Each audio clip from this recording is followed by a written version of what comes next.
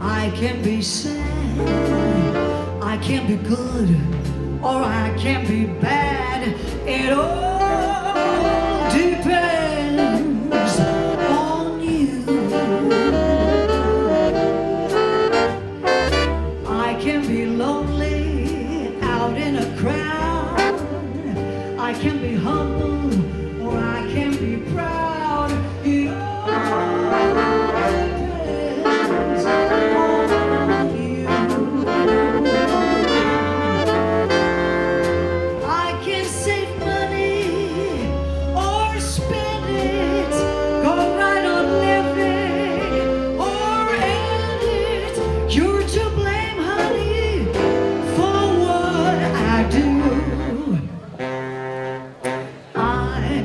know that I can be beggar, I can be queen, I can be almost any old thing. It all depends on you. Jag sitter här i kafeterian på eh, Folkan.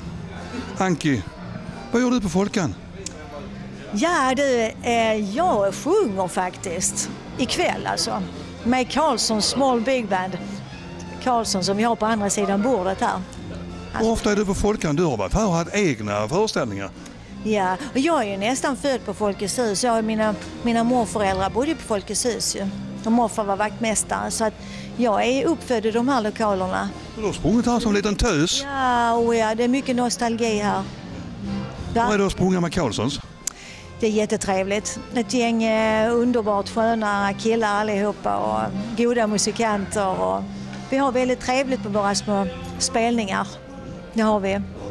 Och, eh, jag ska prata med Karlsson själv också och ta reda på vad Karlsson är för en. Hej alla glada! Nu ska vi ha en liten trevlig kväll tillsammans. Eh, vi börjar med Cole Porter, eller vi fortsätter rättare sagt med Cole Porter och You Do Something To Me. You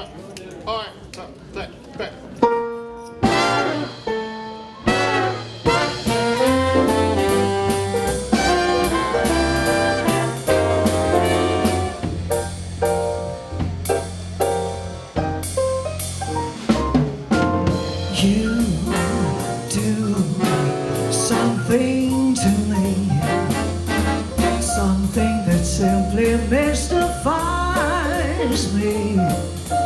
Tell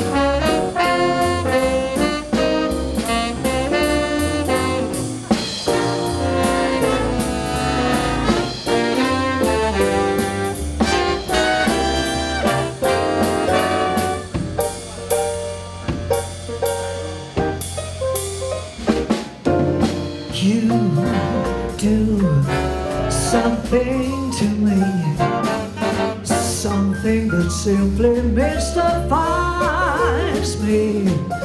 Tell me, why should it be? You have the power to hypnotize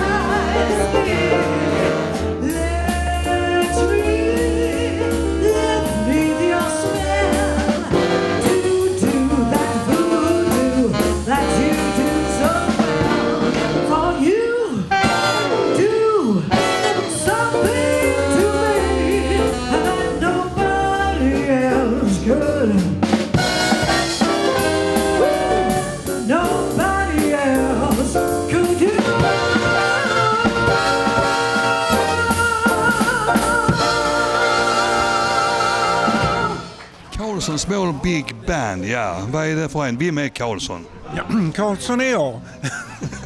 Men eh, sen har jag samlat ihop en massa gamla duktiga musikanter runt omkring mig.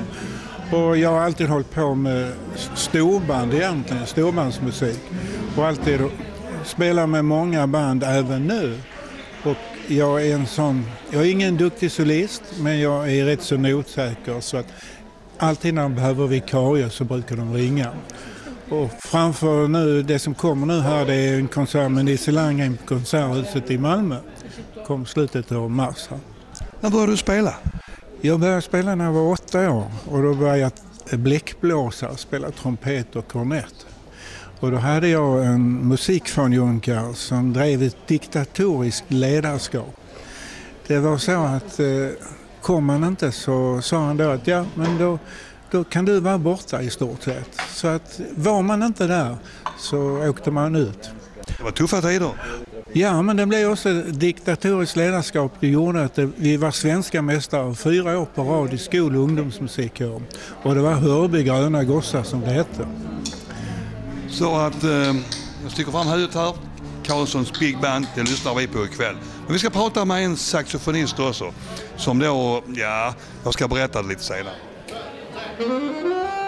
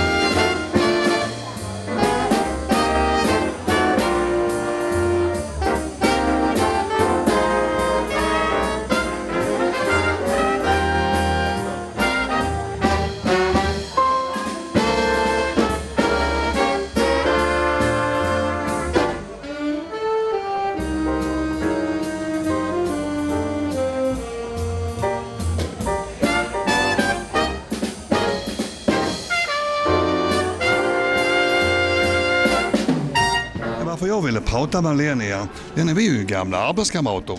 När då ifrån? Ja, det var väl på stenåldern nästan, men jag tror det var på 50-talet. Ja, det är nog 60-talet. Jag var började lärlingsskolan på Thullinverken 62. Nej, jag gick ut 62 så det kan vara slutet 50-talet. Ja, det var det säkert. Vad gjorde du där då? Inte mycket. Nej, det förstår jag, för du var på förrådet. Ja, jag blev bland annat arbetsledare de sista åren. Så det var ju planeringsman också som det heter. Vi kommer ihåg att du var alltså på eh, mätrumsförrådet, eller man gick och hämtade tolkar. Ja, just det. Det var sån, vad heter det, verktygsförråd ja. Men när började du spela?